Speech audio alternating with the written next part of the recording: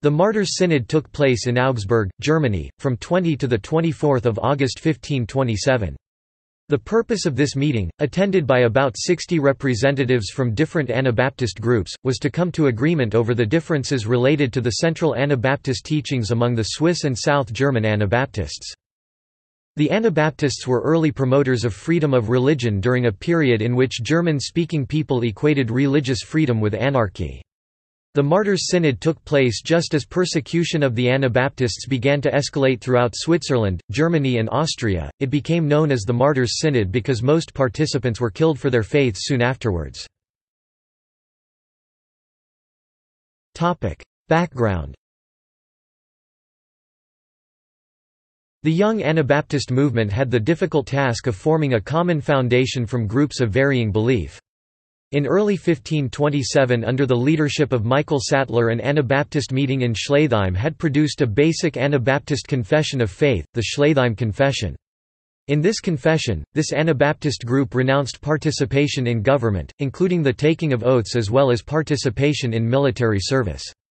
Other groups of Anabaptists, though, including the South German Anabaptists, believed that Romans chapter 13 permitted authorities to require their citizens to swear oaths and perform military service, and an agreement between the Swiss and South German Anabaptists was achieved on this point.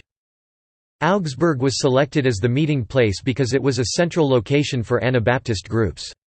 The region of the young Anabaptist movement was confined at this point in time to Switzerland, Alsace, Moravia and Tyrol. There were a number of strong Anabaptist congregations within Augsburg itself, which in 1527 were still relatively free to meet. Their size accounts for their ability to host 60 participants in a single meeting room and offer accommodations for the visitors. Participants Not all of the names of those present at the synod have been passed down. The following 33 participants are known and arranged among various Anabaptist groups. The largest group was associated with Hans Hut, Eucharius Binder of Coburg, Burkhard Braun of Ofen, Leonard Dorfbrunner of Weinberg, Hans Gulden of Biberach, Sigmund Hofer, Hans Hut, Marx Mayer of Altenerlangen, Joachim Mertz of Bamberg, Hans Mittermeier of Ingolstadt, Georg Nespitzer of Passau, Leonard Schiemer of Judenberg, Hans Schlaffer, Leonard Sporl of Breidrichingen, Ulrich Trexel of Franken, Thomas Wallhauser and Jakob Wiedmann of Memmingen. The Second largest group were members of one of the Augsburg Anabaptist groups, Jakob Dachser, Matthias Finder, Gall Fischer, Lox Fischer, Konrad Huber, Hans Keeling, Hans Leupold, Bartholomaus Neufelder, Siegmund Salminger and Peter Schepik. The Swiss Anabaptists sent three representatives, Hans Beck of Basel, Jakob Groh and Gregor Mahler of Chur. Three participants were associated with Hans Denck. Hans Denck, Ludwig Hatzer und Jakob Kautz of Worms. The synod met at the house of weaver Gall Fischer, the house of Konrad Huber, and the house of butcher Matthias Finder. Two of the three meetings were under the leadership of Hans Hut and Hans Denck. Business The Martyrs' Synod had no formal rules of order and no minutes were kept. The synod was only documented in court records of the interrogations many participants later underwent. The synod opened with discussions of a proposed Anabaptist oath and bearing of arms. Hans Hut argued against the Swiss Anabaptists' position and advocated both oath-taking and military service.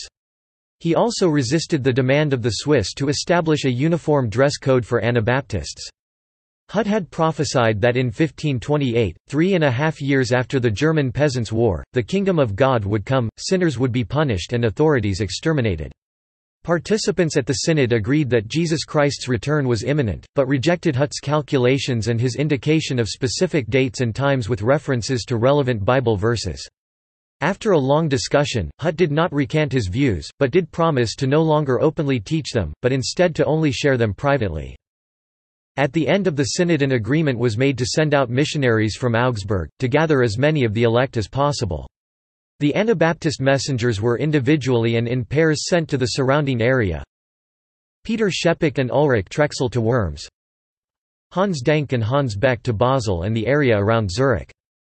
Gregor Mahler to Vorarlberg Georg Nespitzer to Mittelfranken Leonard Sporler and Leonard Schiemer to Bern Leonard Dorfbrunner to Linz Hans Mittermeier to Austria and Eucharius Binder and Joachim Mertz to Salzburg. This mission effort failed.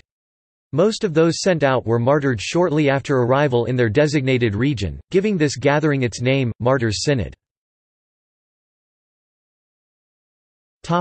Aftermath When the Augsburg Town Council learned of the meeting, they had Hans Hut and other participants arrested. They were later tried and sentenced to indefinite imprisonment. Hans Hut was tortured horribly, and accidentally died as a result of a fire which caused his asphyxiation in the Augsburg prison on 6 December 1527. The next day, the authorities sentenced his dead body to death and burned him. The Martyrs' Synod was both a high point and a turning point in the development of early Anabaptism. For the last time there were so many Anabaptist leaders with varying views. After Augsburg, the Anabaptist continued to be persecuted for more than a hundred years, eventually leading to mass emigrations to North America. References. External links